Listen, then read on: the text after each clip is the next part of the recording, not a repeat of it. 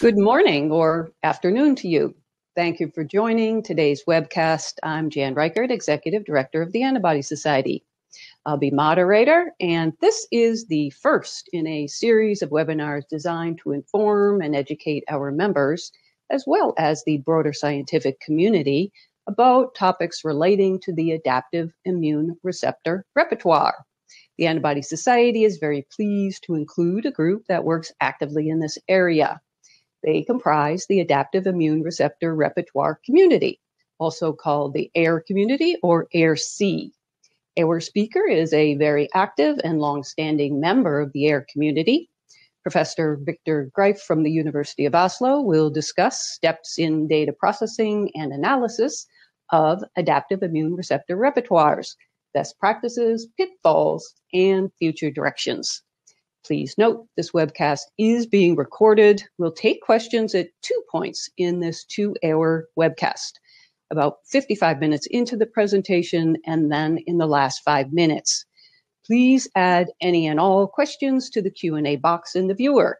We may not get to all of the questions, but Professor Greiff has kindly offered to create a Q&A document after the webcast. A link to the document will be sent to all attendees. Without further ado, I turn the show over to Professor Greiff. Thanks so much, Jan, for the introduction. and hello, everyone all over the world. My name is Victor Greiff, as was just introduced, and I'm the head of the Lab for Computational Systems Immunology at the University of Oslo. And this is today an AIRR Community and TAbS webinar on AIRR data analysis. So a brief um, disclaimer is that this webinar is meant just as a brief overview of the adaptive immune receptor um, field, short AIR. So if you want to know more about any of those points that I mentioned, uh, please consult the cited um, citations that I put on each slide. I may go quite fast because we have to go a lot through because the airfield is quite large, but I put a lot of um, citations on every slide, so it should be quite easy to um, read further in all dimensions. And um, also, if you're not following me on Twitter, uh, please do so. Um, so I will give a brief introduction to the adaptive immune system, which is, um, as opposed to the innate immune system, um, the part of the immune system that records each immune event over um, our lifetime. So when whenever we encounter bacteria, viruses, cancer, or any of these kind of things, um, immune information about um, these events is recorded in our immune memory, which you see on the right. And these are um, our B and T cells, which have um, B and T cell receptors or together called adaptive immune receptors. And together they form uh, our immune memory kind of like a USB stick, which I'm showing there. So uh, we can think of uh, T cell and B cell receptors as natural diagnostics and therapeutics. So they record past and current immune status. Um, they are very important for um, vaccine success. So not only antibodies, but also T cell receptors, as has been shown more and more now. And of course, um, from the from the pharma point of view, um, monoclonal antibodies, T cells, and CAR T cells have become blockbuster drugs over the last years and decades. So we can use the um, natural sensing ability of T cell and B cell receptors for um, diagnostics and therapeutics research. And I guess for all of you who are in this field, you're either working on understanding the immune system from a diagnostic point of view or from a therapeutics point of view. One complicating factor about the adaptive immune receptor repertoire is that the, the um, diversity is huge, um, larger than 10 to the 13. Um, we have recently summarized key advances and challenges of immune receptor analysis. And um, over the last decade, so since immune receptor research has started um, 10 years ago, a bit more, um, there has been a lot of progress on each of those um, major um, blocks, which are genomics, uh, going to proteomics, computational immunology, biotechnology. Uh, so we, we, can now high throughput sequence immune receptor repertoires. We can look at the serum antibody repertoire. We can, um, to certain extent, to a certain extent, um, predict um, antigen binding. And uh, we have also established, uh, to some extent, CRISPR-Cas immune cell editing. However, major challenges still lie ahead, such as ultra high throughput antigen specific uh, sequencing, um, from um, an experimental point of view or from a computational point of view, uh, predicting um, antibody antigen binding with very high accuracy. And I will touch on some of these points that I mentioned here throughout my presentation. Um, so this is the outline of the webinar. Um, and after the second um, topic, we will make a short break where we can answer questions for five minutes. And as was just said, um, uh, if we don't get to all the questions, we will answer them in writing after the webinar. Um, so adapt. So antibody and T cell diversity is generated via VDJ recombination. This is one of the fundamental mechanisms then that one should know if one is deciding to start in this field or if one is working in this field. And what is happening here is that um, 1V, 1D, and 1J gene usually are recombining to form the variable domain. And this is true for both B, B cells and T cells. And um, uh, this is one way of diversifying immune receptors or for getting this high diversity. Um, B cells have one further dimension with us, which is somatic hypermutation. Um, although there are some eLife papers, I think, which have also shown somatic hypermutation in T cells in sharks. But in humans, um, the hypermutation part is um, uh, uh, is B cell specific. Um, so if we zoom in further into uh, the variable region, we have framework regions and we have complementarity determining regions.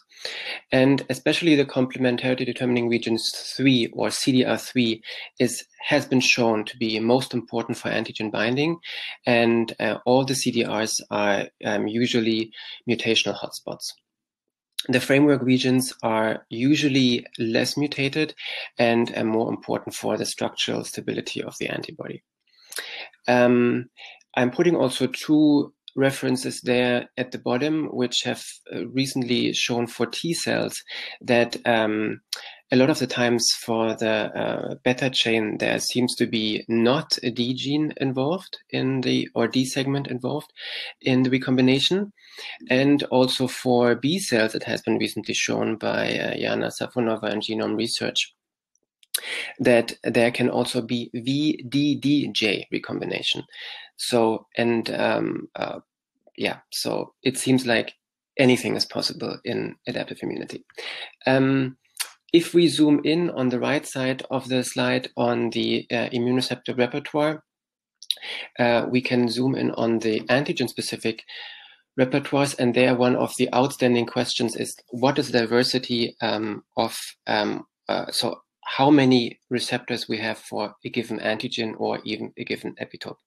I think for some antigens, we might know this a tiny bit, but overall, this is a very unresolved question. And we also do not know how the um, motifs look like that predict antigen binding.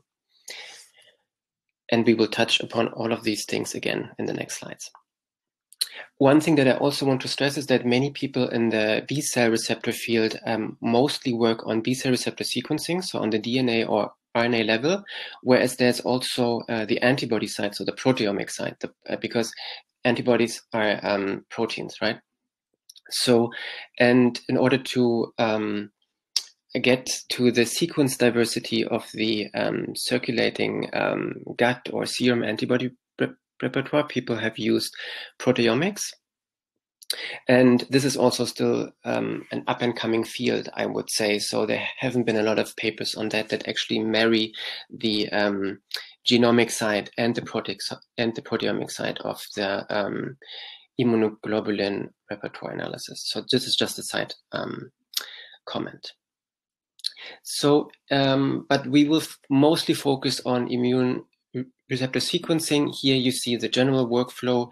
You um, start from a model organism, you um, isolate your um, cells of interest, you perform library preparation, and then um, pre-processing, and then statistical analysis with regard to the research question that you have. Um, the good thing about AIRR-seq which is which is also a short for adaptive immune receptor repertoire sequencing or high throughput sequencing of adaptive immune receptor repertoires, um, allows us so to look at the central principles of adaptive immunity. So we can follow um, cells over time as they um, mature uh, through B cell ontogeny, and we can also look at um, on the right hand side clonal architecture, convergence selection lineage dynamics and evolution and clonal expansion. So all of these things can be computationally looked at um, if we um, analyze immune when we analyze immune receptor um, data. So um, many of us might not have the um, means or uh, or or sometimes do not want to generate their own data. So there are many so and there uh, many um, public databases that have a lot of um, sequenced immunoreceptor uh, receptors. On the left side, you see antigen-specific databases.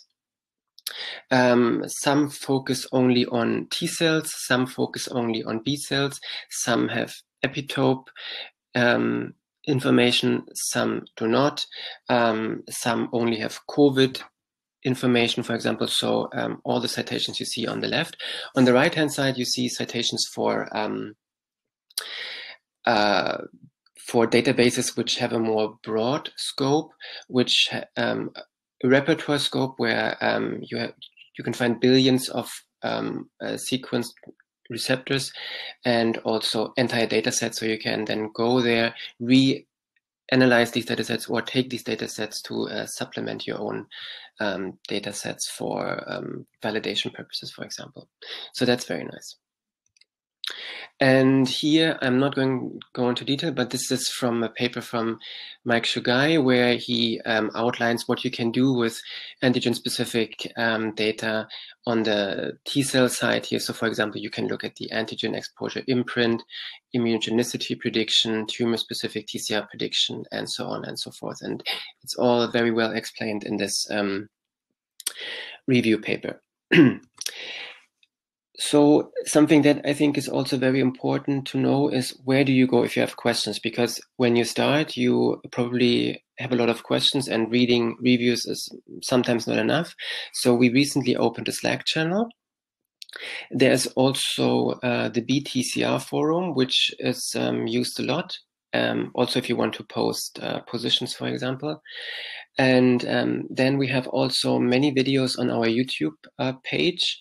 And um, we also retweet a lot of um, the AIRR papers coming out from, from our Twitter profile. Also, please follow um, the at AIRR community uh, profile if you are not doing that already. And please also subscribe to our YouTube channel.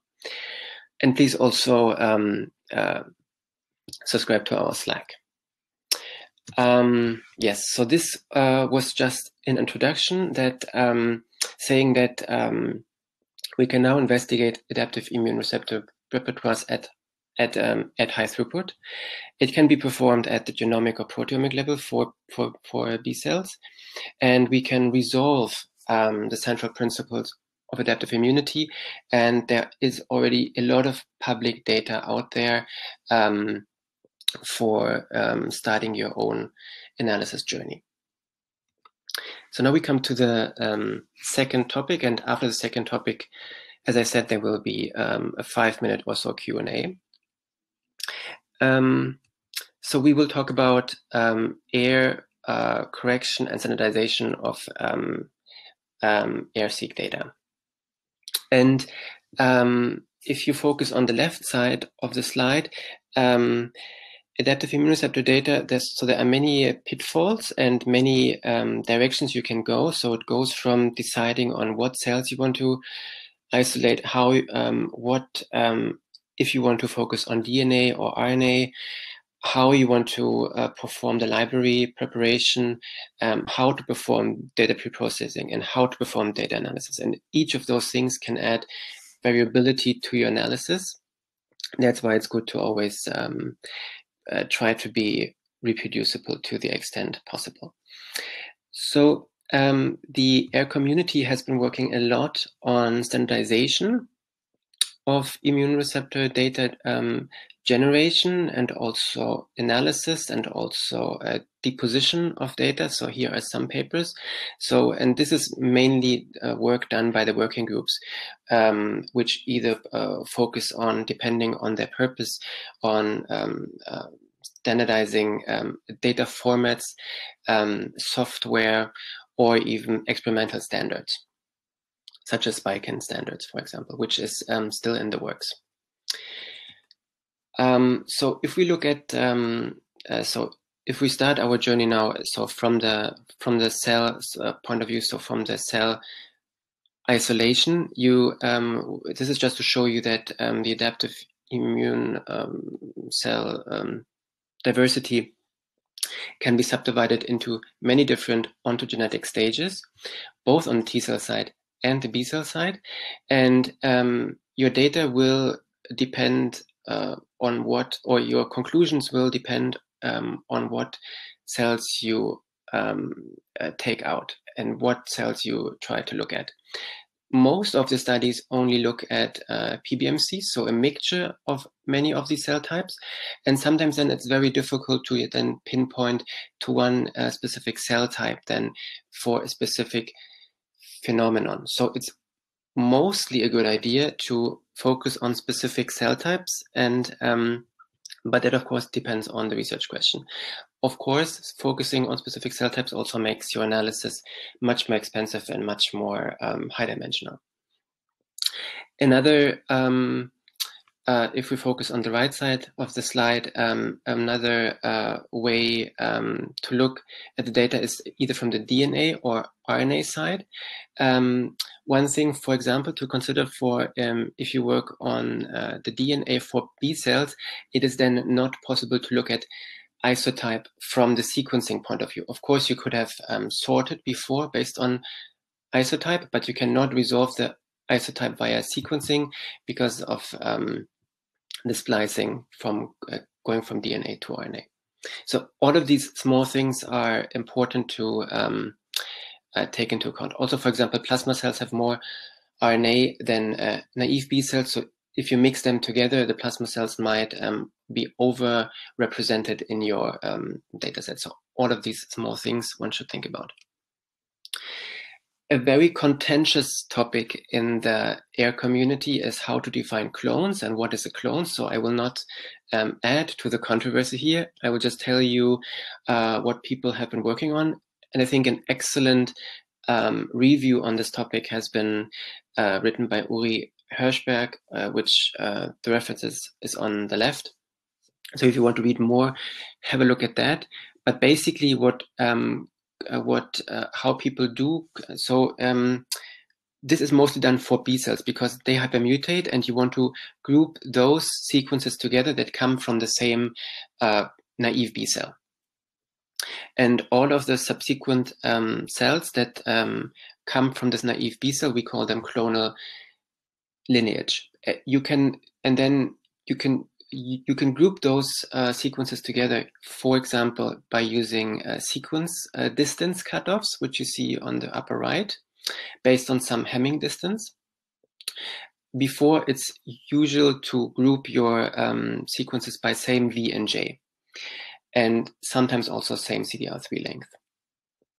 Uh, recently, there have been um, published more sophisticated approaches, mainly by the um, Kleinstein lab, where they uh, use some kind of clustering to find um, a good uh, cutoff for um, for deciding which sequences um, uh, group together in a clonotype and not, and also um, they have been also k-mer-based approaches also by the Kleinstein lab for uh, building um, clonal families. So all of these things should be taken into account as well. And there is no right or wrong answer. Um, but um, if you want to be, if you are, if you want to make big claims on somatic hypermutation or clonal expansion for B cells, it might be a good idea to look into these, um, how to assign clonotypes. And um, this, I think, is a good way to start uh, by looking at this slide and what people have published. Another very important thing that um, is um, also a very important topic for the AIRR field is sampling. Um, as you know, the diversity of the immune receptor repertoire, even within within one person, is so huge that it's almost impossible to sample completely in your data analysis. And you can um, you can see um, that by, for example, biological sampling, where you just for example, take two different blood draws, and on the upper right, you see the clonal overlap of two different blood draws um, based on TCR sequencing, and you see that um, it's not a lot. And if you would, if you were to look at biological replicates also nowadays, even with higher sequencing depth, you would be surprised at how low the clonal overlap could be. So this is something to take into account. And I think it's a bit unclear how to resolve this variability in our data because of course sequencing takes a lot of money. So making all of these um, replicates without a clear way of how to use them in your data analysis is a bit tricky. And there is no real approach for that yet in my opinion. Then there's also technical replicates which look at um, which technically is resequencing of library or also um, um, uh, splitting at the PCR step and then doing um, things separately. And even there, you would be surprised how um, high or low the overlap can be. So if you have never looked at this or done this, I highly encourage you to do this just so you see how reliable or not immune receptor sequencing is. Yes, and you can look at the um, how good your sampling coverage is by using these species accumulation curves, where you look at the um, percentage of reads and and and then how many um, clonotypes you have covered um, by sampling those reads. And most of the time, um, your curve will not look like this, but mostly probably um, uh, you can see my cursor. So it will not level off. It will be probably in the middle of the curve. And this means yet that you have undersampled your data. But uh, probably close to 99% of all studies have undersampled your data, their data, so you would be just one plus one in the club. And um, you see even um, from this Nature paper from from uh, 2019 where they really over sequence a lot, you see that there is not really a leveling off of those um, accumulation curves. What is very easy to get is what you see on the right is a high correlation between the replicates um, of the V gene frequency. So that's very easy to get. What is very hard to get is high clonal overlap between the replicates. So that would look probably much worse if one would look at this at these data, which is not a reproach for this data, it's just how sequencing works. And um, this has been also shown very early on um, by um, showing that um, you can the, um, the deeper you sequence, the more public clones, the more shared clones you find. So, um, saying again, also more sequences is always better. So because I asked a lot, how much do we have to sequence? The more, the better. And it's always good to know the number of cells you put into your reaction, and then it's a good estimate to oversequence by five to 10 times of the number of cells. So if you have 1 million cells, it's good to have 10 million reads, for example. Um, yes. Uh, this is from a very old paper of us where we showed um, how one could establish um, reliably detected clones. And uh, I will not go into detail, but the more important thing is seen on the right, where we show that um, even if you get high clonal overlap in, um, uh, between replicates, um, getting correct clonal ranking so meaning that you want clone one in sample one being also clone one in sample two based on read frequency um, requires even further sequencing reads. showing again how difficult it is um, to get really high reliability of your data. And this we have shown here, and this has also been shown by um, Rachel Bedford Rogers also in 2015, um, also in BMC immunology, where she also shows that, um, uh, so this plot L here, um, where that um, accurate clonal ranking really requires a high, high sequencing depth. And you see that it gets, that the ranking gets better as as she increases the number of sequencing reads. Um, but uh, yeah, but uh, yeah, it's uh, it really requires a lot of reads. Yes.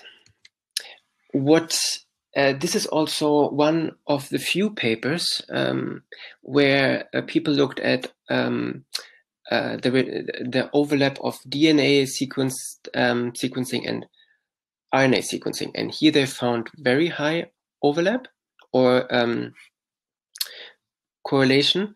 Um, but there are very few papers that, uh, papers that have looked into this. So, uh, in my opinion, so this would be something I think for further studies would be very nice to look into. Because it's quite an old paper, and now we have um, uh, new technologies and new ways of uh, looking at the data, new pre-processing suits also that are much more sensitive now. A very nice paper also coming again to um, how data can vary across different sequencing methods have been has been recently published um, in Nature Biotech in 2020, and um, here I think the main takeaway again was there was variability across different approaches, and the variability was then decreased or increased by using UMIs, so unique molecular identifiers or not. I will go a bit further into detail on the next slides on this.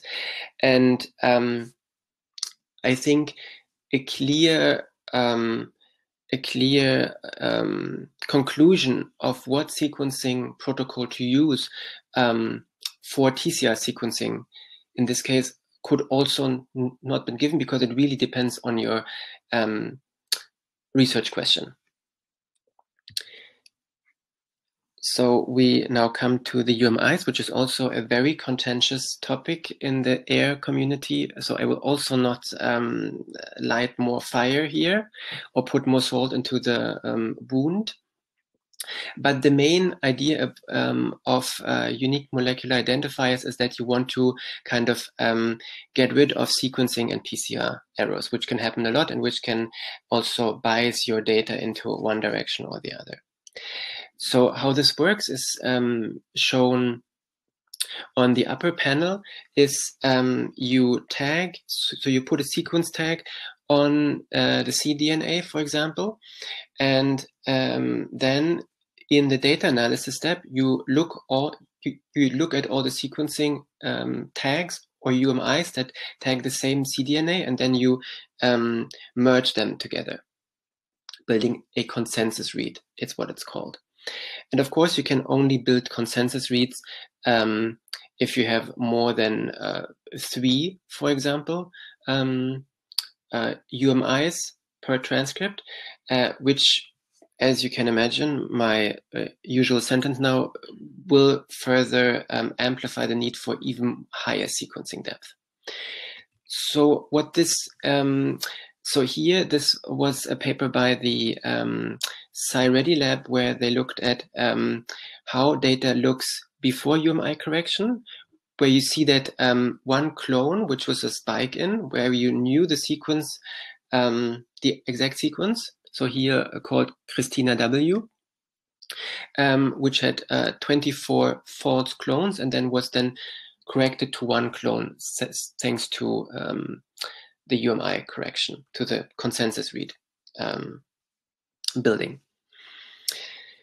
the um, we have also used UMIs in a completely different setting, not for error correction, but also but for checking contamination. So a lot of the repertoire field is is um, is focused on uh, looking at um, and looking at um, public clones, so the overlap across different individuals, and um, sometimes it's not clear if it's if if something is contamination or not. And so people usually use for um, clonal overlap either um, uh, either the CDR3 or the entire VDJ sequence, which so and the CDR3 is usually a barcode, but um, the UMI is also a barcode. So what we did here is um, we used um, we used UMIs to check for contamination. And how do we did this? So we so we looked at the CDR3 overlap on the bottom left um, across different samples, and um, then we checked whether any of the overlapping CDR3s also had the same UMI, which would be highly unlikely, um, um, uh, uh, which which should not happen if you don't have contamination, and which would happen if you have contamination. So CDR3 that are overlapping and also have the same UMI are most likely contamination. And here we could exclude the contamination, for example. So we, I haven't seen so many papers using that approach, but I think it's a very nice way of using UMIs. Yes. The problem, so now this was now the good side of UMIs. Now we come to the bad side of UMIs. The bad side with UMIs is of course also that you can, that you have a lot of, uh, that you can have different errors also in the UMIs, just as you have for the sequencing reads. So you can have sequencing error there as well. But the most important um, problem with undersampling um, and UMIs is um, is that you have to have at least uh, three UMIs per transcript to build the consensus re um, read. And that means you have to oversequence a lot. You see this, for example, here in this 2013 paper, where where uh, most of um, the reads um, had had only one UMI. So I'm talking about the upper left plot now. Um, and oh, and then so maybe 20% of the reads had um, uh, were in groups that had three or more UMIs, which means that most of the data here could not be used for UMI correction. We have also seen this in, in our data where um, we I show here again the CDR3 overlap on the right, where the expected overlap, if we do not um, uh, correct for UMI, is about 14%. And if we use UMIs, it goes to 0.23% because we have to throw away so many reads because we cannot use them for consensus read building. And the same has also been um, put into words um, in the Nature Biotech um, paper, which I'm quoting on the upper, uh, on the lower left, where um, it stated, yes, UMI-based methods can be more accurate, but um, but they decrease the observed TCR diversity. So I think a takeaway for UMI is if you have a very low sequence diversity, um, then UMI is good. If you want to look at the diversity of an entire repertoire, then you would have to oversequence so much that it's economically almost not feasible at this stage. Um, yes, so this is something really to keep in mind. What also is to keep in mind um, for any annotation, and I think this problem has not been solved so far, is that the D region annotation is quite unreliable. And that's why most of the time the D region is not even um, shown in any annotation um, plots, for example. So people mostly show only the V and J, and then you see sometimes um, a blank for the D. That does not mean that the that there was no D in the recombination event. Could have been, but the more likely um, thing is that it was just not found because the D just gets chopped up uh, too much um, uh, during VDJ recombination. So that's something to keep in mind. Um, on the other hand, V and J assignment is usually um, higher than 99% accuracy for most of the tools. So that's not something that one should worry about alleles is something different, which I'm coming to now, is Um, so germline gene alleles is um, something that has uh, come up recently and um, which is uh, mostly um, a topic for the B cell receptor side, although I think people are also now working on this for T cell receptors. So what is happening here is that for if we just go to the upper um, left of the slide, is that um, many uh, so before we had high throughput sequencing, um, most of the um, it was thought that there is one gene and maybe a few alleles. With high throughput sequencing and new technologies, we now know that um, we probably all differ um, by maybe one or two or several um, uh, single nucleotide polymorphisms. Why is it important? Because um, if you don't, so if you, for example, look at somatic hypermutation, um, somatic hypermutation it takes only into so the assigning of the mutation count takes um, is always with respect to a reference germline gene data set. Um, if you don't take, take into account these polymorphisms, then your, um, for example, your um, mutation count might might be off, or even your clonal family assignment might be off also. So um, that's something to uh, keep in mind. What is interesting to note is that there are many um, um, uh, initiatives now to look at um, polymorphisms, both from the AIRR community side and also from the research side.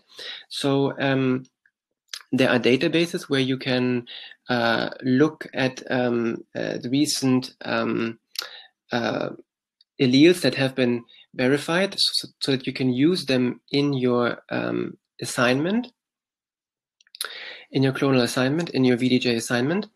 And there are also um, um, uh, computational suits, so um, approaches that can infer um, alleles from high throughput sequencing data. Some of them are, for example, IgDiscover, which I'm uh, quoting on the upper, uh, um, on the lower right. So just go to these um, citations and you will see um, many com computational approaches that can um, infer novel alleles and or also haplotypes. So why is it important that we look at alleles? Because um, um, they are not only there for our amusement, they are also they also have been implicated into disease. So, for example, um, alleles of IGHV169 have been implicated into better or worse um, neutralization of the virus, um, and also these also may vary by ethnicity, as many of the polymorphisms are. They could vary by ethnicity, but we still lack really um, large scale data to uh, pinpoint this. And they have also been um, uh, uh, attributed to epitope specific antibody responses uh, in autoimmunity.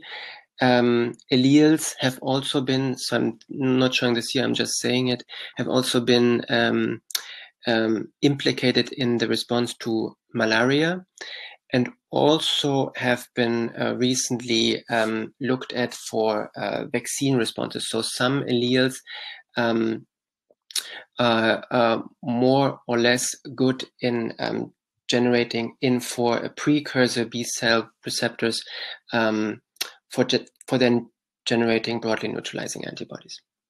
So this is just to say um, that if you're not really interested in somatic hypermutation and super correct clonal family assignment, um, polymorphisms is still a bit of a niche thing, but I think it's getting more and more um, um, interesting, and we find more and more of them.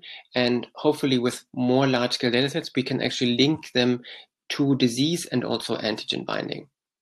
And then it will be soon very important to um, build for each individual that um, you look at also its own reference data set so that your somatic hypermutation count and your clonal family assignment is correct. As I said, for T cells, um, I don't think there are so many reports, if any, um, but um, but I think many groups are working on this as well. So I would be surprised if we um, do not see a very high diversity on the TCR side as well. Yes, and I think I'm a bit faster than I should be, so we have then more time for question, I think. Um, so just to summarize again, um, biologically, so this is, I think, a very important point. Biologically conclusive AIRR-seq really depends on deep coverage of immune repertoires. And I have been working in a lot of collaborations um, over the years where people thought they had deep that, that they had sequenced deep enough and um, for, for example, UMI correction. And in the end, we could not use the UMIs because they did not sequence deep enough. So if you want to use UMIs, for example, you really need to over sequence um, uh, 10 times more that you think you have already, at least. um, and coverage um, might be assessed via replicates or, for example, species accumulation curves. I don't see so many people doing replicates, but even if you don't need them for your analysis, I would encourage you to do at least once, do them and see how bad things can really look. Um, then it's very important to keep in mind that AIRR-seq library preparation can induce numerous errors, such as, for example, uh, primer bias, um, PCR bias. Uh, primer bias could be, for example, excluded if you use um, uh, primer-free approaches such as RACE. But RACE might have other biases, so there's always a pro and con for everything, unfortunately. Um, I would also like to say that um, computational error correction is possible using uh, the MiXCR annotation suite, for example. It would be very interesting, I think. I haven't seen a reported where they looked at MiXCR error correction and UMI error correction. I would like to see that, how good they are in conjunction or separately. Um, yes, so this is, uh, and then um, Exactly. So UMI um, correction seems like a good idea on paper, but um, might be uh, might not be applicable for highly diverse um, samples where you just um, would have to oversequence so much that uh, you would not be able to afford it. Um, so this is something really to keep in mind. So um, uh, because mm, some groups might just use UMIs because they think it's the right approach, and then they trim down their data set so much that they can almost not make a biological conclusion anymore because they have lost all the diversity of the data. Um, there exist numerous annotation tools, but um, care should be taken when choosing the, the reference genome, especially when you look at somatic hypermutations. Um, with regard to the polymorphisms. And as I said, I think a very hot topic in the future will be um, finding more about the functional significance, the diversity um, of uh, uh, polymorphisms and alleles in adaptive immunity, and how they vary across ethnicities um, and how they're implicated in disease, and how we can use them also to make better vaccines, for example. Um, yes, and I think with that, I'm I'm at um, the junction where we can take questions. Um, so let's see if there are any questions. Yes, we have quite a few actually. So let's, uh, oh, oh my! let's, let's start you off and uh, get uh, these questions answered. Uh, so first one Sometimes multiple V genes are identified in B cells upon sequencing a cultured B cell line.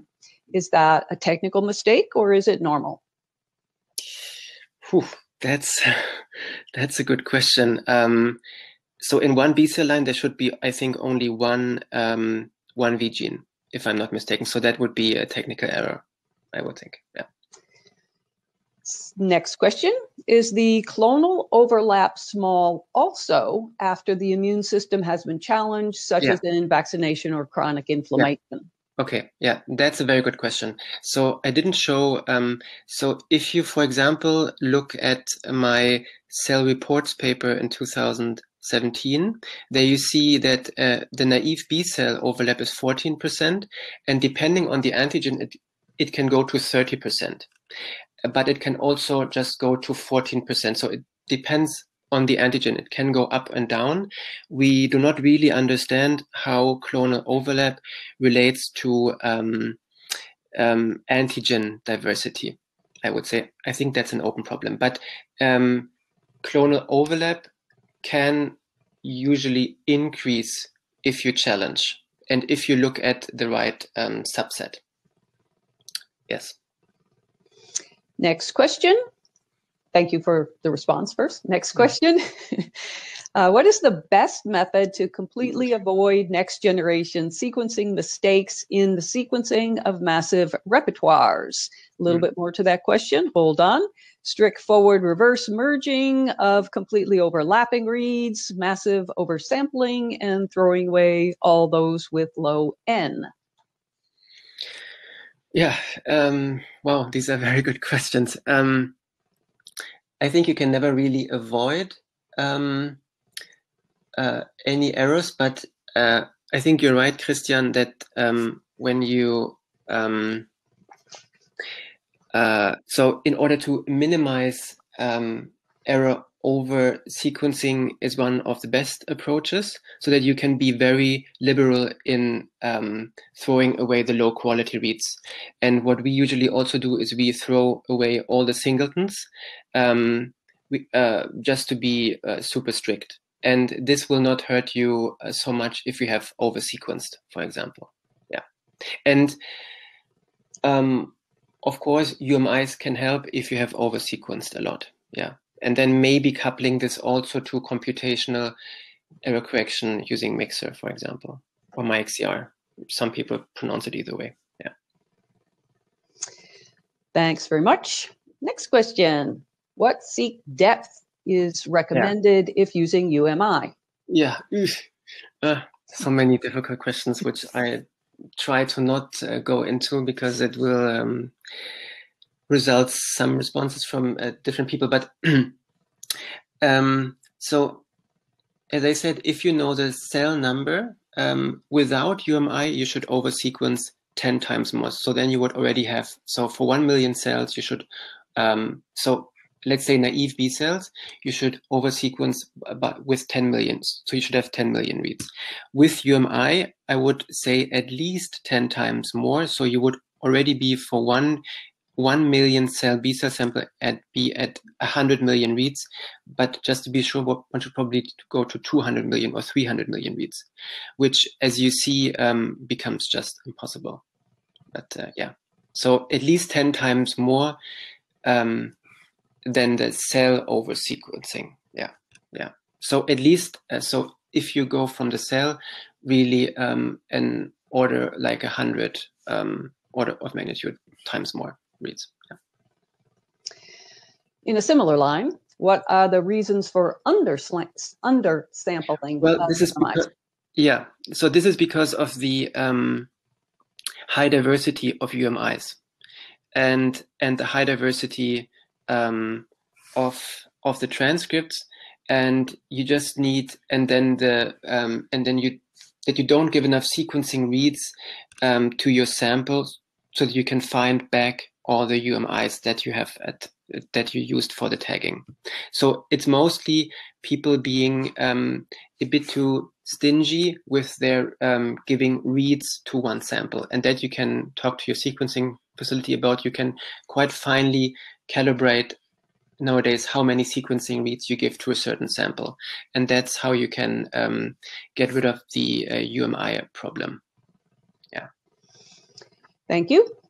A lot of work has been done with custom programs because few software programs are AIRR compliant.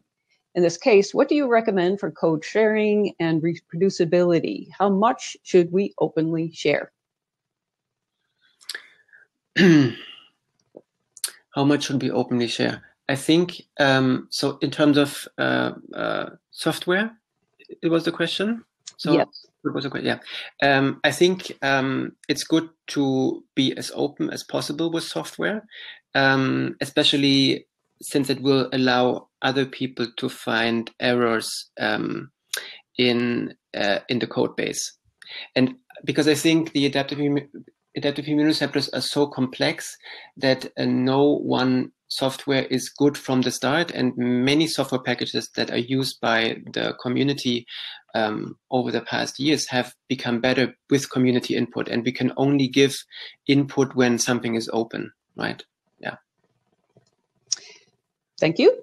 Next question. What is the importance of the sequencing length except from the sequencing depth in bcr analysis? Also which tool would you recommend for the VDJ alignment? Yeah.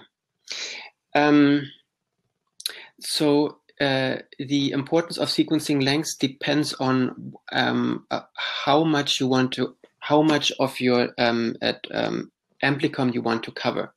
So, for example, um, for T cells, and we don't have isotypes there, and we don't have hypermutation, one can usually go quite short if your primers are, for example, in the framework 3 region, and then you just cover the CDR3 diversity, I think then you're fine, and you reasonably well can still infer um, uh, V genes.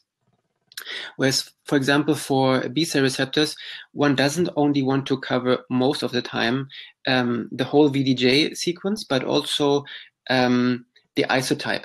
And then um, the uh, two times 300 kit for um, from Illumina um, uh, becomes uh, quite nice to have. Yeah, but uh, but this also depends on where your primers start um, uh, in your strategy. Uh, yeah, I think that's and which tool you would recommend. So um, I think most of the tools that were um, suggested here in the question are for single cell sequencing. Those are very good suggestions that you give. Um, for um, single or bulk sequencing, you can also use um, MiXCR, uh, for example. Yeah. Next question. If the absence of clonal overlap is a sequencing based issue, is there a reliable machine learning model to solve this issue? Ah, these are questions, unbelievable. Um, yes, uh, no. So the answer is I. I don't. Um, so I, I will go a bit into detail in the next part of the talk, where I talk about uh, machine learning, and that machine learning can be on the subsequence level or on the sequence level. So to some degree, that's why people look a lot at um, subsequences, so k-mers, because that allows to um, circumvent the overlap problem. So that could be one avenue. Um, but um, uh, absence of clonal overlap, if it's if there should be biological overlap. So if the biological system lets you expect clonal overlap, then machine learning cannot change the biology, right? But it can help to encode. It can help encode data in a different way that circumvents these things. And I will also talk about the diversity uh, diversity profiles that will also um, circumvent lack of clonal overlap. Yeah. Thank you. Next question. What overlap percentage should we expect between mice in the case of antigen-specific B cells? Yes. So there are not so many um, uh, mouse papers, especially for B cells. Um, there are many more uh, human papers and then also many more T cell papers. So in the AIRR field, people like T cells more than B cells, I think sometimes. Um, but um, if you go to my paper, there is um, one of the figures where we show the clonal overlap between mice, and we went quite deep. So we had 1 million naive B cells, and then we saw 14% uh, sharing between any pairwise mouse. Um, and and for the um, and for the antigen specific sharing, then we had three different antigens. It could have it it sometimes went up to 30%, uh, but uh, varied between, I don't know, uh, 20 and 30%. So it can go quite high. Yeah. I think we have time for a couple of more questions. Can you comment on V gene polymorphisms in mice? Oh my God, these are amazing questions. um, so um, the difficulty, so ideally, polymorphisms for one strain should not be there because, right? So the one, that's why we use mice because they should all be as similar as possible. That's why we use mice. Um, however, uh, people have shown that across strains, um, so for example, BALB/c and um, Black 6 mice, they can have, they can use quite different um, V genes. And for example, the very classic immune response to NP um, is only seen in the Black 6 system, but not in the BALB/c system, for example. However, if you go again to our cell reports 2017 paper, we looked at naive B cell CDR3 overlap between different mouse strains and found that although the V gene repertoire between these strains is different, the CDR3s were quite similar, which is surprising but we didn't um, uh, we didn't unfortunately look at different antigen specific responses in the different strains, which would be a very nice thing to do. Somebody should do this. Yeah. Excellent. Thanks. You're doing very well with all these tough questions. Is there a special distance matrix for Hamming distance calculation for BCRs? Because mutations that appear due to hypermutation seem to be biased. Yes. Um, so I'm not a super expert on um, I, I, will on the phylogenetics and the clonotyping. So I'm not completely sure. I'm I think people sometimes use BLOSUM matrices to also um, account for some um, of the biological variability, but um, I'm not sure about special distance matrices. Next, and maybe final question here. Do you consider clonal diversity based on VH-VL pairing or only focus on VH? Yeah, so uh, this uh, of course depends on whether you use um, um, uh, bulk sequencing or uh, single cell sequencing. Of course, for single cell sequencing, clonal diversity should be done on the VH-VL level. I will talk more on this on uh, well on the overall topic of the HVL. But um, the problem I think with the AIRR field in general, we all like to have single cell data and VHVL or TCR alpha beta data. The problem with all of us is that there are very few methods that can take into account paired data for most of the computational approaches um, that I will present. So um, that's something to uh, keep in mind. Well, all right, we have to take one more question because she started it out saying, wonderful talk, which I totally agree. Very well done so far. Uh, how do you expect the problem of lack of clonal overlap, oops, sorry, it just moved on me, uh, to eventually be solved in the field? Better sequencing techniques, limited limit sampling to disease tissue over uh, PBMCs or other options? Yeah, I think, as I said, um, uh, yeah, so focusing on specific um, cell subsets and um, sequ- deep sequencing is, I think, a good idea. Yeah, yeah, as a very short answer for that. Yeah. Okay, well, um, to the audience, please do remember, or I'm telling you for the first time if you hopped in a little bit late, that uh, Professor Greiff has agreed to answer all the questions so not only the ones here in person, but all of the questions here uh, will be answered in a Q&A document that will be made available to you after the fact. Uh, right now, we will move into the second portion of the presentation, which will also be followed by a question period. So please do keep those questions coming. Right, Victor, I hand it back to you. Okay, so we are going to the next two topics, which is single cell sequencing and then the computational strategies. And I will go very briefly only on the single cell sequencing and mostly spend my time on the computational strategies. So as was already alluded to in the um, questions, is that um, a bulk sequencing has the problem that we lose the pairing of um, VHVL or TCR um, alpha and beta sequencing. So um, that's why single cell sequencing as a whole is a very good idea. Um, so single cell sequencing preserves the pairing, so that's that we like. So it preserves much better the biology of adaptive immune receptors, since it also has been shown that binding can be abrogated if you um, combinatorially exchange um, the alpha or the light chain, for example. So um, so these chains are can be important for antigen binding. Sometimes binding is preserved, sometimes binding is not preserved.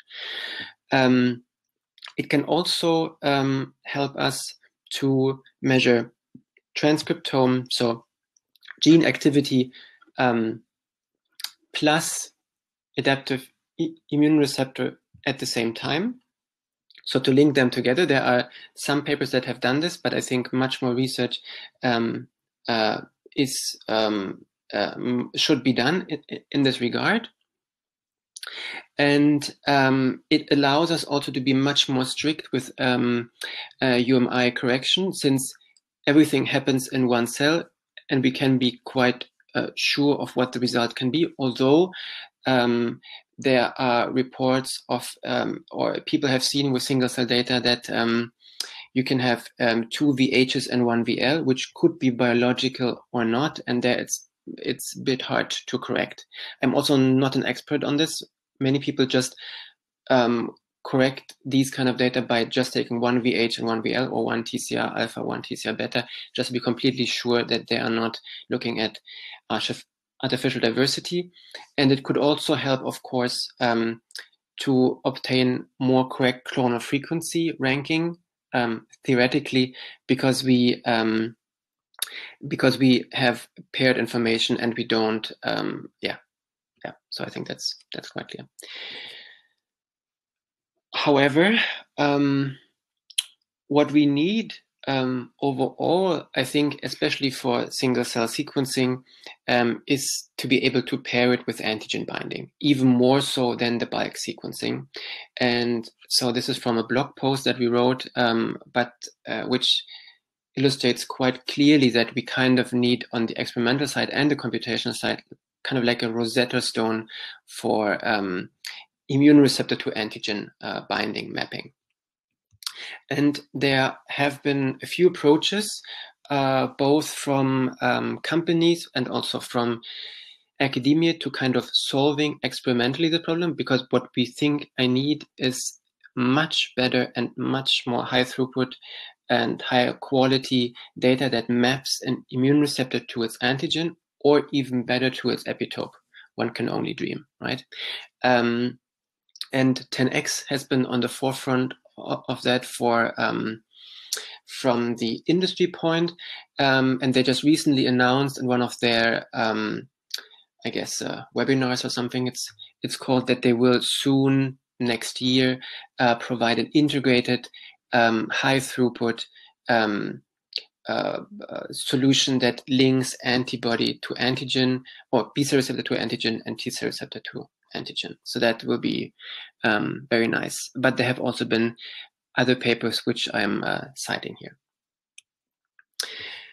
Um, so while um, generating um, single cell data is still very, very costly and um, unfortunately, therefore, also quite high throughput, which comes again to the point of how re representative of the biology is single cell data. It sounds like a good idea, but how much do we learn from single cell data? I think the jury is a bit out there still, since the data sets are quite low dimensional and mostly focused some um, sometimes on specific subsets of the repertoire. But the software is already there. So we are prepared when the huge data will come in the future. And there are several suits that I'm just um, mentioning here from Immcantation to Scirpy to Immunarch and then also scRepertoire. So, and they, they overlap to some degree, but they also have their idiosyncrasies. So um, just uh, try for yourself and they're all very good. Um, so as I said, I'm already at the end because um, I think one can say a lot about single cell sequencing, but also, mm, yeah, it it will not help you that much. So the main problem with single cell sequencing is that um, its throughput is very, very uh, low. So you cannot really profile entire repertoires with single cell sequencing unless you are super rich. Um, and by super rich, I mean very, very rich.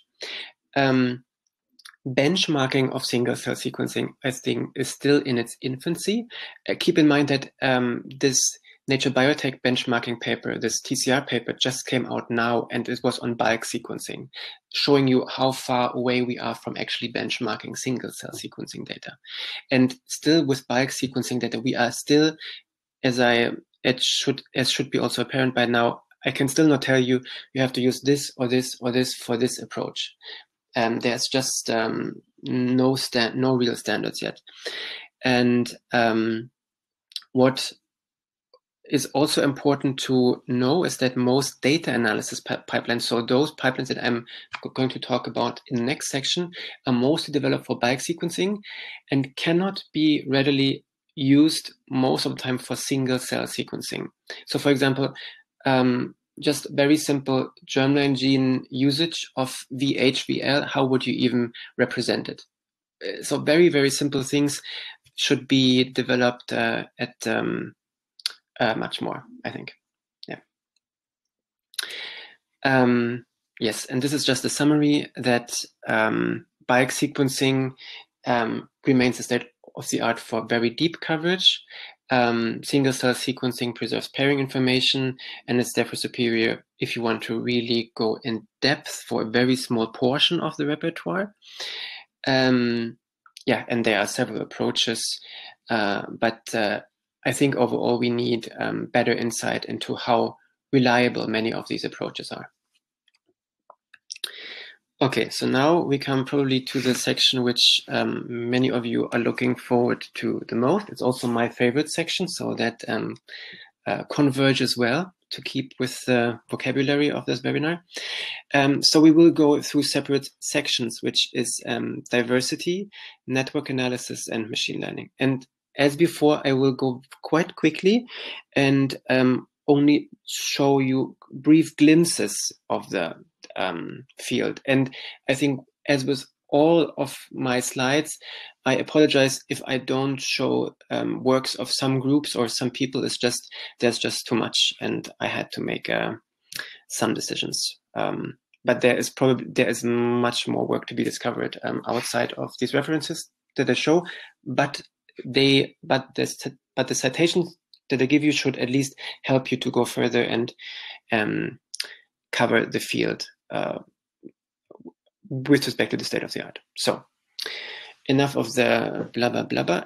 Um, this um, is um, an overview of um, the um, computational approaches or um, questions that you might have, and for which computational approaches exist. So you might want to look into diversity, sequence similarity, or repertoire architecture in B, at clonal evolution in C, mostly for B cells, and then clonal overlap, or also called convergence, which can be done both on the um, entire sequence level or as shown here on the k-mer level, on the subsequence level. What I'm not showing here um, is also um, a field that has been pushed um, by the Charlotte Deane lab is the structural diversity of entire B cell receptor repertoires, which is on the very lower left of the slide. And there are many papers on this from the Charlotte Deane lab, which I warmly invite you to discover because it's um, um, there are, and there's also another group of which I'm uh, lapsing on the name now, but um, there are several approaches just to keep it brief, that um, can infer um, the structure of the antibody uh, from the sequence at um, quite high accuracy at very high speed so that you can look at the structural diversity of repertoires, which is very nice. there are many tools for all of these um, approaches, and I put here the reviews if you want to know more about these tools. And uh, we are going to through some of the principles of these um, approaches and what to look out for. Um, so one of the main things I think how the um, uh, field has started is uh, quantifying and comparing the diversity of um, immune repertoires, right? We have repertoire one and repertoire two, and we want to say, uh, do they have the same diversity or not? And the problem is, as we have already discussed, low clonal overlap. So it's almost like comparing apples to oranges. And how do we bring apples and oranges together into one new fruit that we can then compare across all the repertoires. Um, and this is what I'm uh, showing here now. So we have the repertoires, right? We have the antibody sequences that we can find here, for example, these four CDR3s in each repertoire, and you see that they are different. So um, you already uh, would panic, right? Uh, zero sequence overlap. What do I do? Um, and then they have different uh, frequencies so all of this also is of course for T cell receptors is the same. So uh, if I don't say things explicitly, most of the things um, can be used for both BCRs and TCRs. So um, how how can we now compare the repertoires is by, by a diversity indices, which um, solve the problem by mapping frequency distributions to a common coordinate system. And one of the one so what people usually use is the Rényi entropy or if you take the exponential of this is the Hill diversity. And different alphas of that so different um, parameters map to different um, diversity indices. All of you might know some of them maybe species richness Shannon entropy Simpsons index and Berger Parker index for example. There are others what this helps us that that um, so keep this alpha in mind so we can vary this alpha and um, if we vary this alpha and compute then the Rényi entropy or Hill diversity, which is the exponential of the Rényi entropy, um, then we get diversity profile. And what this allows us um, to to do is that um, uh, it can be shown, which I'm showing briefly in the next slide, that these Hill diversity profiles kind of capture um, the um, uh, many characteristics of the underlying clonal frequency distributions that we were not able to compare because the CDR3s were different. The problem with the diversity indices that you hear that many people do not appreciate is that um, if you only look at one, you can they can be you can be they can be qualitatively qualitatively different conclusions depending on where you look. So, for example, for alpha equals one, which is the Shannon entropy, uh, you would say that the blue repertoire is more diverse than the red repertoire, whereas for alpha equals two, the red repertoire would be more diverse than the blue repertoire. So completely different biological conclusions you would draw if you had just looked only at the Shannon entropy or at the Simpsons index. That's why it's good to check a few indices or look at the profile to see if there's some overlap um, or some intersection between the samples or not. Then the unfortunately the problem is how do we and so this Rényi entropy or Hill diversity gives us um, a number, but what does it actually mean? so there is a very nice interpretation of that. So for example, here we have a repertoire X of five sequences, which have a given frequency distribution and the um, um, and for alpha equals one, which is the exponent the, the exponential of the Shannon entropy, uh, we would get um, 2.28. So what does 2.28 means? It means that if we round down, it's kind of two, and this would mean that the diversity of repertoire X is equivalent to a repertoire composed of two clones with equal frequency. So for example, if we had the repertoire X um, where one clone would be 99% and the others very little, then um, the diversity of this repertoire would probably be close to one because even if you have a thousand clones, if one is super highly represented, the diversity is equivalent to just having one clone. So those diversity, those diversity indices create equivalence classes, uh, which is for the nerds um, among you, I guess. yeah, and here we show um, in this genome medicine paper that um, clonal frequency distributions here simulated as Zipf distributions recap uh, can be recapitulated by diversity profiles. So, um, which is very nice. Um, the problem with diversity is that um, since you're undersampling, there is a problem of how true the diversity or how true the um, a, a calculated diversity is. Is it a representation representation of your entire diversity? And for that, you can use estimators.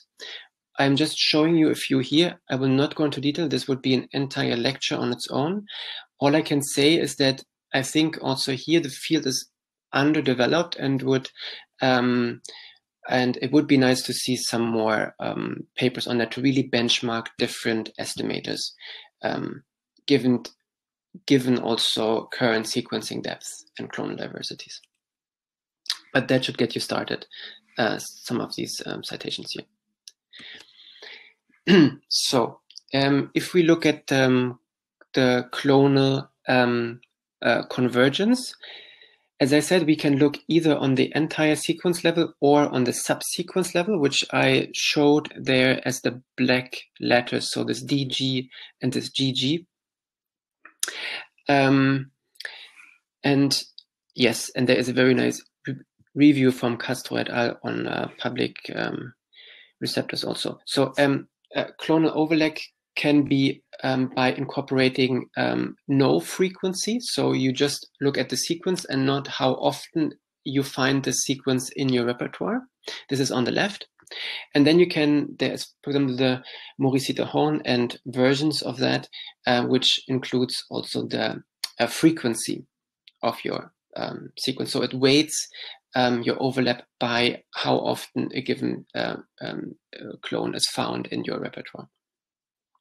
And there are many other approaches that marry these kind of concepts together, and I'm showing you um, uh, these uh, citations there. I can, if you go to the lower right, the Rempala et al. Journal of Mathematical Biology is one of is a very excellent paper which gives a lot of overview of these different um, overlap and diversity estimators.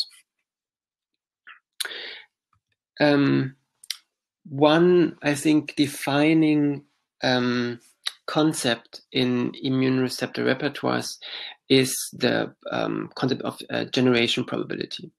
So what is generation probability? So we all know that um, if you look at your uh, sequencing data, um, different V genes are used in different frequencies. So that means um, uh, it's uh, the probability of seeing a given V gene um, um, is different across V genes, and therefore also the probability of seeing certain CDR3s is different um, across CDR3s. If they are um, short, they have a higher generation probability. If they are longer, they have a longer, uh, they have a um, lower generation probability.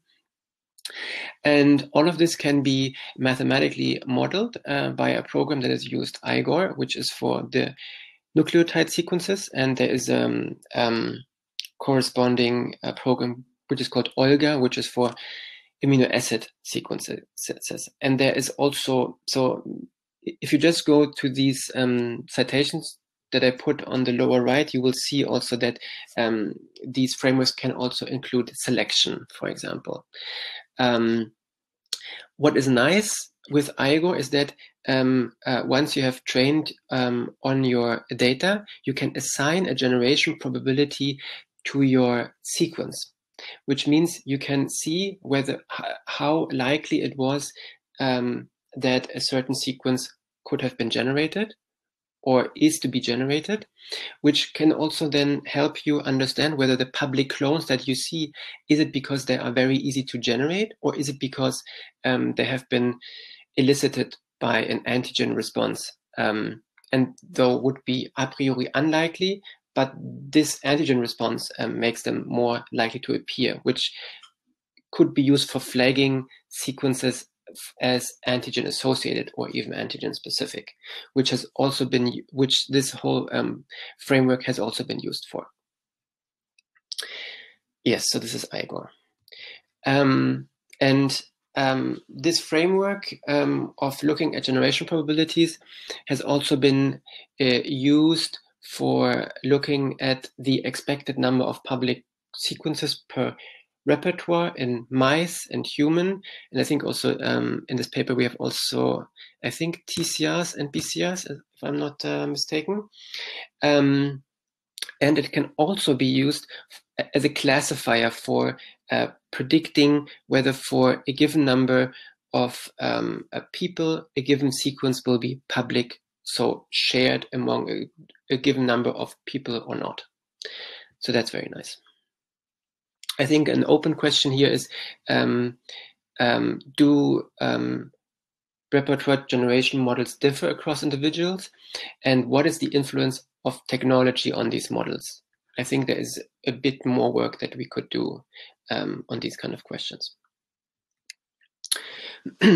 From the diversity point of view, they have, there, there have also been approaches that have exploited sequence convergence on the subsequence level for predicting antibody antigen um, TCR epitope binding. So these were two Nature papers from 2017 from um, Dash et al. and Glanville et al.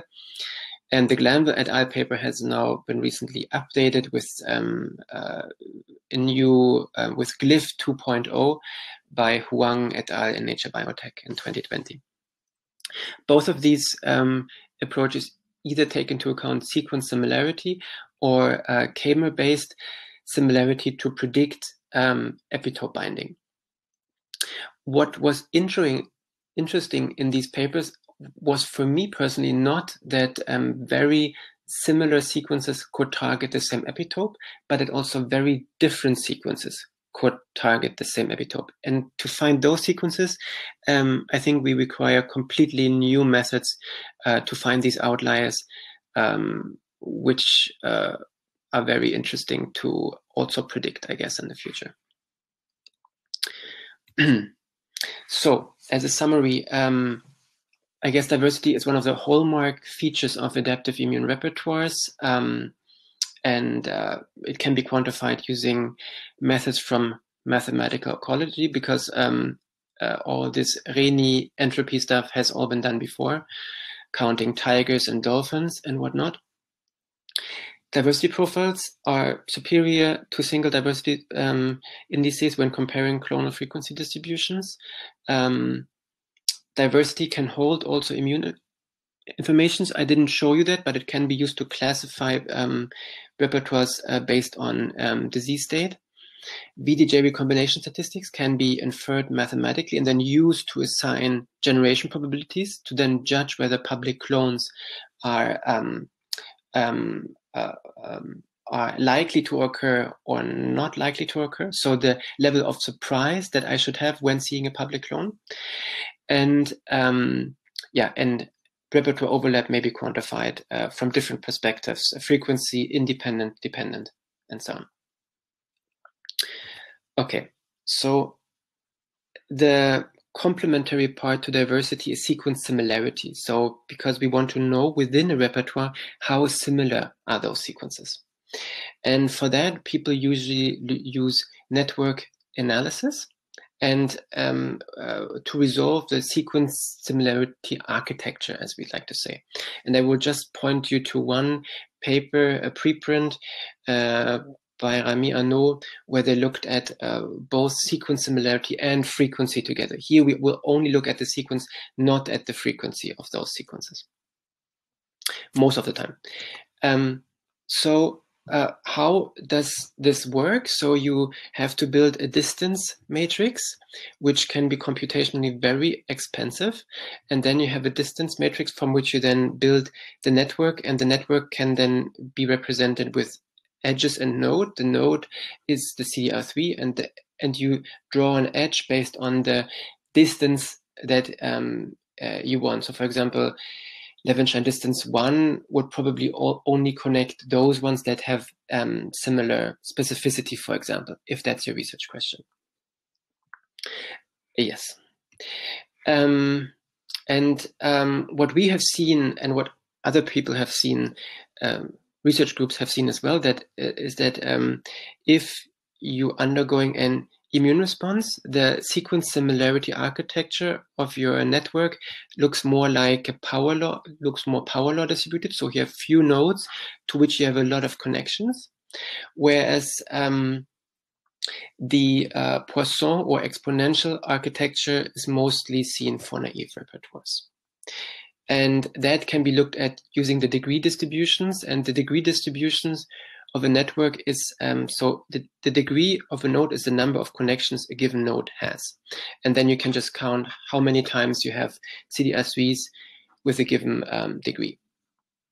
This may sound very um, uh, complicated, but it's not. And I put also um, the papers, I think, yeah, just go to the Miho Nature Communications paper and this will explain things quite clearly, I think. Um, Yes, and then the public clones have been for T cells, for example, also linked to um, uh, uh, to antigen, so uh, to um, antigen binding, as uh, was shown by Madi et al. in genome research. So there you see that um, sequences with common antigen binding clustered together. And just as a, if I go back here, do I have that? Oh, yes, here.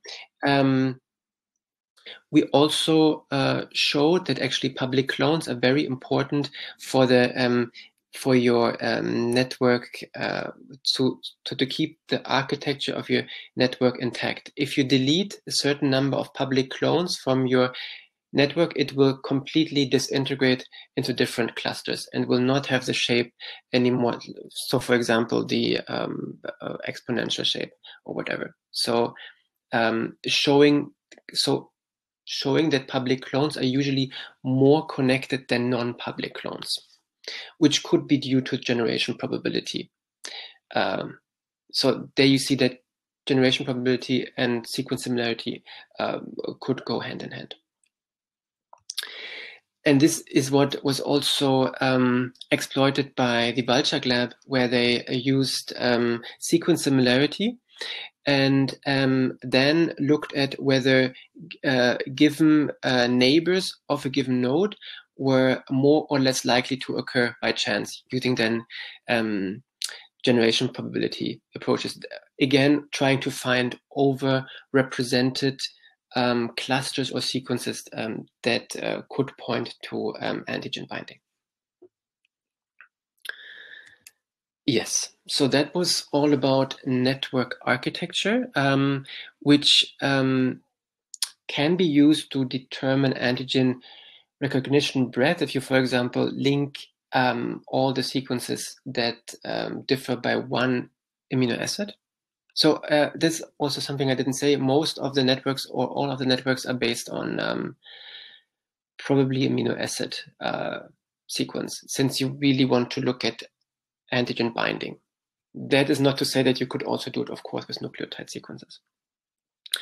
Um, yes, and then as as a few as of a few years ago, many people only looked at network shape just by eye, but I think we need much more quantitative approaches, such as, for example, looking at the degree distributions and different network um, um, uh, measures to compare um, samples across disease states, for example.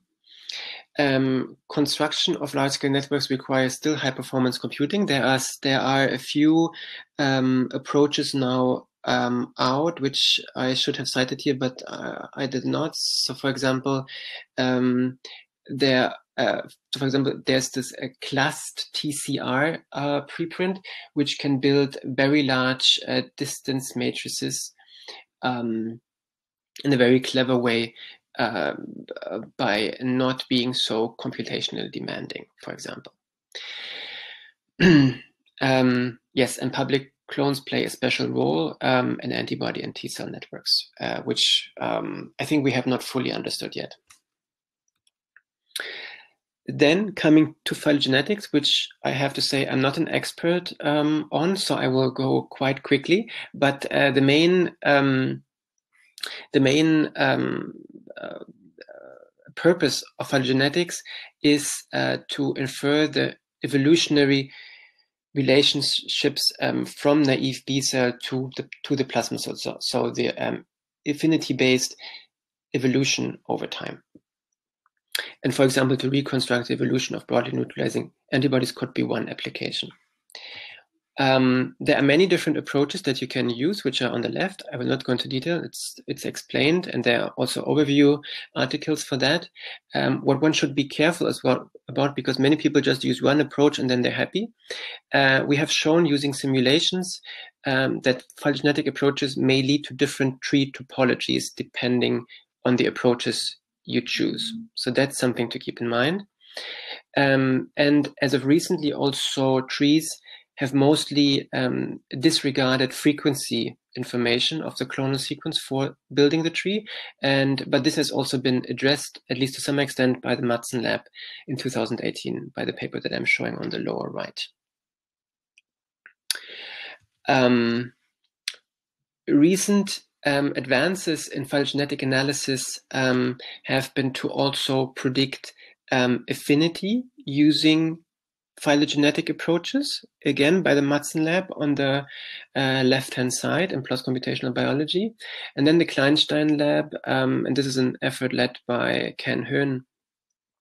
Um, so one of the main approaches or one of the main questions that you have when you look at your tree and you know um, um, that you have different cell types in your data set. So for example, naive B cells, germinal center, memory plasma, you, you, want to see how they stack up in the tree when um, state switches happen. And here um, uh, it was uh, an approach was developed that can actually statistically characterize um, migration, differentiation, and isotype switching along B cell phylogenetic trees to give like um like um uh, so that you can say whether some phenomena that you see in this tree are significant or not. So for example, then you can see how often do I see that the memory B cell comes from a germinal center B cell. Is this significant or not? Um, so this is what this package does. It's it's called Dowser and um, it's on Bitbucket and uh, there's also tutorials for that. And there's a preprint also. so um, as a summary again, there exist many methods for phylogenetic inference, but one should be careful because they can lead to different um, outcome. I think this is not solved right now, and um, there's also no standardized way of approaching this. But again, I'm not an expert. It might be best to contact these authors that I have just um, mentioned. Yes. So we will go forward to the last topic, which is machine learning. So machine learning is very, very hot right now, not only in uh, immune receptor analysis, but overall, as you know from all the high profile papers, but especially for immune receptors, I think machine learning is really useful um, to kind of mine the many sequence dependencies that we cannot see by our um, other computational approaches that machine learning can just learn and um, uh, see um, by itself. So there is just to remind ourselves uh, supervised machine learning where you give both the data and also labels of the data and there is unsupervised machine learning uh, where you only provide the data but you don't provide the labels. And then there can be shallow um, shallow learning. So for example, support vector machines, uh, random forest, and then there are also deep neural networks which um, can learn abstract feature representations from the data through a through a hierarchical structure. So many many layers. if you know more, if you want to know more about these things, there I put a review there, and there are many other reviews. I will not uh, say more about machine learning specific. I will more um, explain what one should be careful about when when using machine learning for immune receptor repertoires. So the main, uh, and this is from a review that I invite you all to read that we just wrote with um, Lindsay Cowell and Goyari on machine learning in immune receptor data. So if we go to panel C, the main machine learning tasks are sequence-based based classification. So you want to, um, for a given sequence, you want to predict a label, for example, binding to antigen X or Y, and um, repertoire-based uh, classification where you want to predict the label of um, a repertoire. So, for example, autoimmune, like diabetes, yes or no. And there is also a generative model where, based on um, training, uh, based on some kind of uh, input data, you want to generate new um, new data, um, new sequences that have some kind of that share some kind of property with the input data. So, for example, antigen binding that you for discovery of new antibodies. and um, I think the, yeah, so so maybe we go to E, so to panel E. So um, for machine learning, you always have to encode your data in a certain way. Um, and some of these factors, so you could encode via k-mers, you could encode via Edgeley or Cadera factors, which are physicochemical representations of amino acids. Um, you can use also, as we did previously, um, you can also use clonal diversity um, for machine learning. Many, many things you can use. This is though quite similar to normal machine learning, so I will not go into detail. I think this is the more interesting uh, slide where we kind of detailed um, the um, many things that make machine learning on adaptive immune receptor repertoires or sequences especially hard. So one thing is the low clonal overlap or even a low subsequence overlap across individuals. For one individual, we can have, um, so now we're at the B, um, we can have multiple immune states, of course, or, uh, or for if we are on the sequence level, also we have polyreactivity, right? So how do we how do we even generate the data to have these kind of information? But even if we had this information, how would we um, how would we cope with this in a machine learning framework, especially since we know that um, the disease signal can be quite low. So, for example, for for celiac disease, celiac patients have uh, one um, one uh, cell out of one million can be associated with celiac disease, for example. So the signal can be very, very low. And even, for example, if in the in the famous um, CMV dataset from 2017, only a couple of hundred TCRs were actually associated out of millions with CMV. So the signal is generally very, very low. And, the, and you can imagine if you want to find the signal for many immune states, uh, it can get very tough. The, so the, and then we go to D. So the diversity of the immune signal is also broad. It can be in the frequency space, so clonal expansion. It can be in the sequence space. It can be also in the 3D structural space with um, sequence dependencies. There can be confounding factors, uh, which we will briefly discuss, such as age or sex or MHC.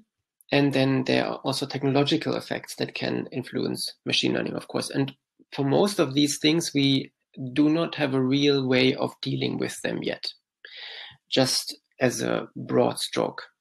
So to not get your hopes up too much. Um, here I'm just summarizing a few of the major machine learning works that have been published over the last years. Um, there has, so, so there has been prediction of immune state, prediction of antigen binding, and generative modeling for making new sequences.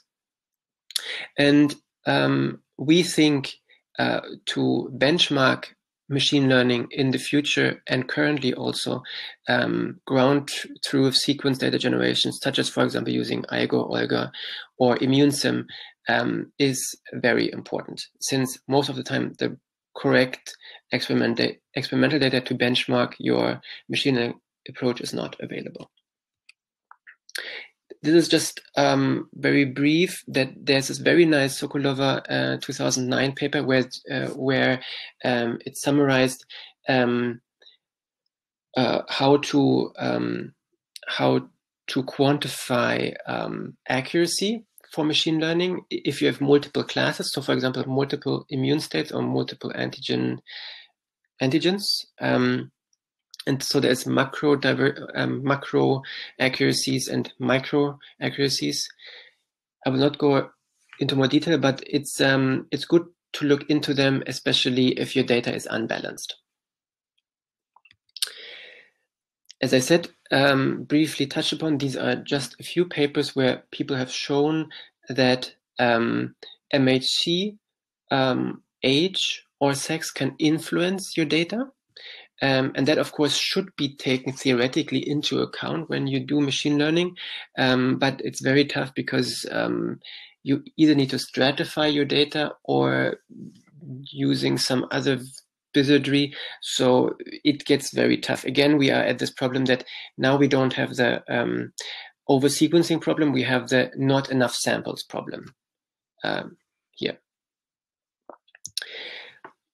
As I said, um, um, in order to be so, whenever I talk to people and many people just tell me, yeah, we just need uh, good data and then we can solve everything using machine learning, that's not really true because even if I gave people um, huge amounts of data with all immune states and antigen binding, very, very few would have ready um, a machine learning framework for a specific research question. That's why I think it's really important to have good um, simulation suits where you can um, develop machine learning frameworks now. So when in the future, in I don't know, five years, um, the really good data comes, we are actually prepared and we don't have to start only then with developing new machine learning approaches or um, machine learning approaches that are um, adapted to the research question. yes, and to also just just a quick shout out, we um, we just put out a uh, machine learning platform which helps to standardize your machine learning approaches, which is called ImmuneML. And I will not go into detail. You can see the preprint. Um, it basically allows you to um, input any kind of data as long as it's kind of air compliant, um, simulate data, use different representations for your data, use different methods, and to do this in a very reproducible way that is also then shareable across groups and there's also a graphical um, user interface, uh, but also a command line for the uh, more experts, and it can be deployed on Google Cloud, etc., etc., etc. So please read that if you haven't already. Um, uh, what I think is really important in machine learning is to um, perform suitable um, uh, tests so you should always test via label shuffling whether um, your class definition is actually appropriate. So you just shuffle the labels, and then and then the prediction accuracy should decrease and converge towards the theoretical limit, which is 50-50 for binary, and then for multi-class it can be different, depending also on your um, uh, balancing of your data. Randomizing sequences is also always nice to just uh, check for any effects that you might have um, equilibration of data sets is quite a good idea. Sometimes or many times it's not possible. Um, testing the effect of undersampling on the classifier is interesting. So we did this, for example, in the ImmuneML preprint. Um, uh, evaluate feature recovery. Um, which you can do with simulated data because there you know the signal so you can see how well a given machine learning approach actually infers those sequences or motifs that should be disease or, or um, antigen uh, specific and then um, if possible stratify your data uh, by you know age group hla uh, sex etc etc etc if you know that this is a huge um, factor for your research question.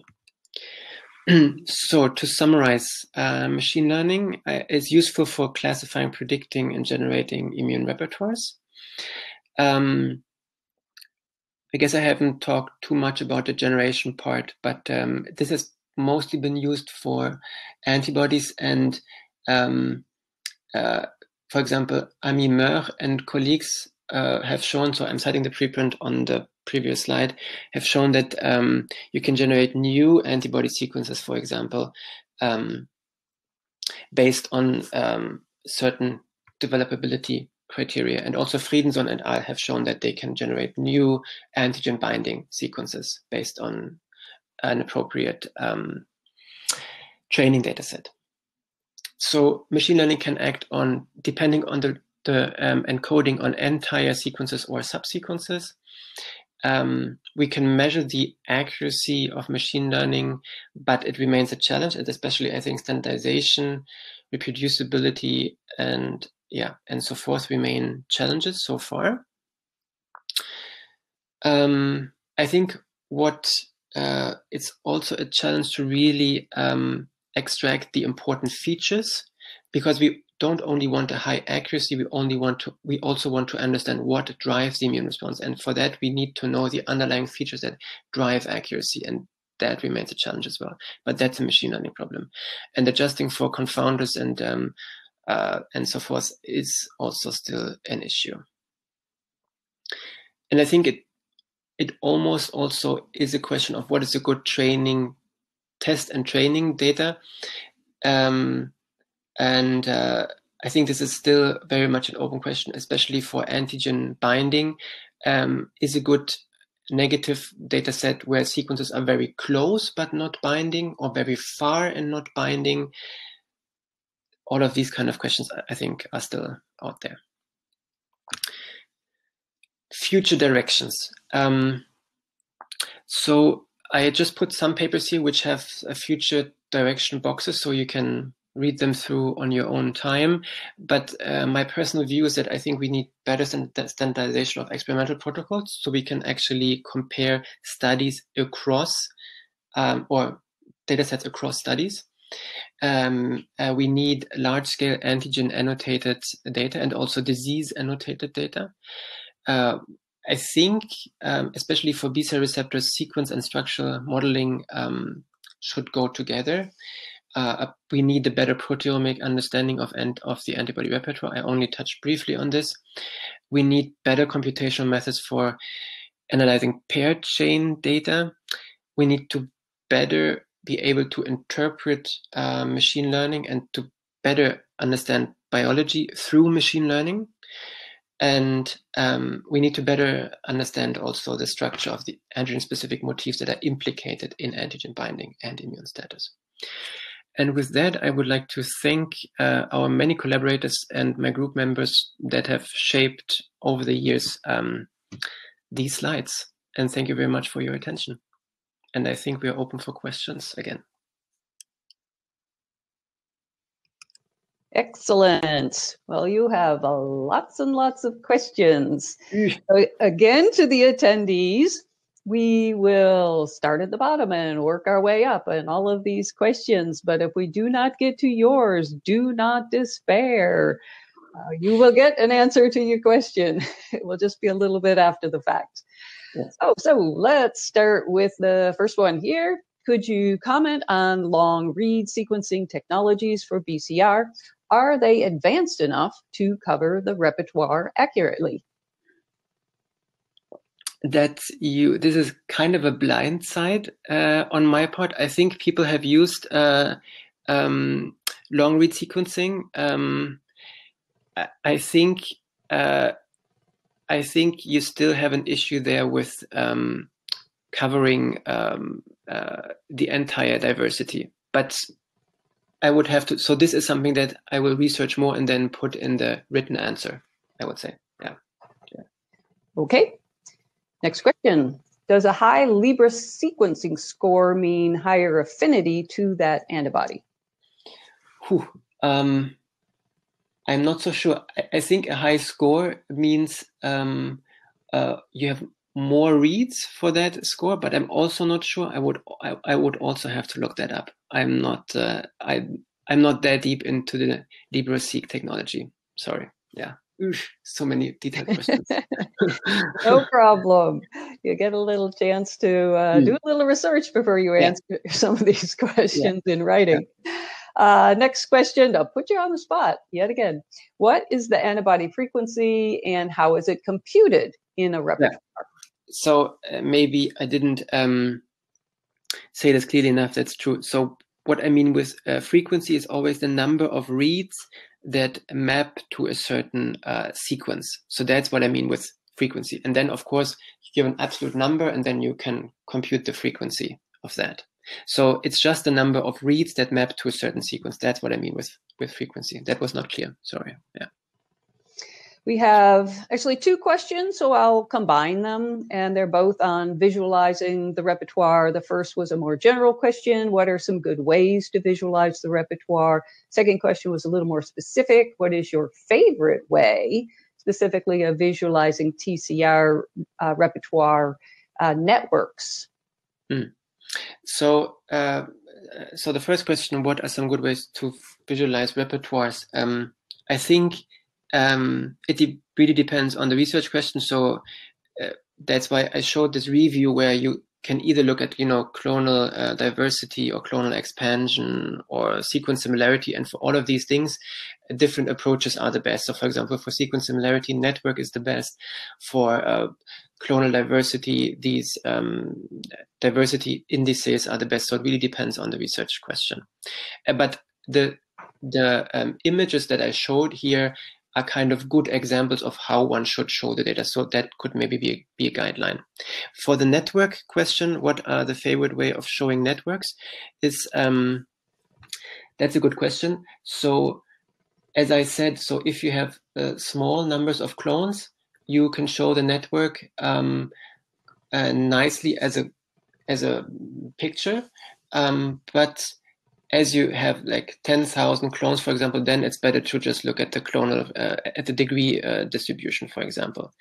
That said, there are um, there's a Python package, NetworkX, and there's also an R package, iGraph, which can make networks, um, and these make nice um, these make uh, nice graphs. I think there is an, there is another on which I'm blanking also now, which um, I will also come back to you. Uh, there's a there's a um, better way of showing networks in a nicer way, but I will put this also into the written question. Yeah, I'm blanking on the name now. Yeah. Next question Is there a software pipeline for the processing of amplicon sequencing data yeah. from raw data to table of counts? Yeah, yeah. So, so for example, my XCR is used by many, many people. So yes, so you just put in the raw data and you get the table of counts. Yeah. And it's just a few lines. It's very easy. Yeah. Next question. Would you recommend the best go-to resource for single cell TCR analysis, especially in combination with transcriptome analysis for beginners? Uh, I think there are not so many. There are only a few papers. Um, and I don't even know the specific papers now, so I would have to look that up. But this field is its in, in its infancy, so there are not many approaches to that, and certainly not many packages um, that uh, that can do a lot in this regard. I think um, Scirpy does that to some degree, but again, I would have to look that up. I would have to look that up. Yeah, but there, but it uh, for sure there is. I think no tutorials for beginners, I think. Yeah. Yeah. Okay. Good to know. I'll avoid that then. Is there a known mechanism explaining why some error degree distributions generate power laws, maybe somatic hypermutation, or perhaps even sequencing errors? Why some error degree distribution? Uh, yeah. So um, I think yes. So I think somatic hypermutation for um, uh, somatic hypermutation for B cell receptors is one uh, way of looking at it. For the overall distribution, um, where you can have also some kind of power law. It depends on how you define power law. It's also based on the generation probability that some sequences are just more um, easier to generate and some are much harder. And this is also on a power law. So uh, th- all of these things are connected to some degree. Yeah. Next question. In human studies, we do not usually have a high N to really use sex as a variable.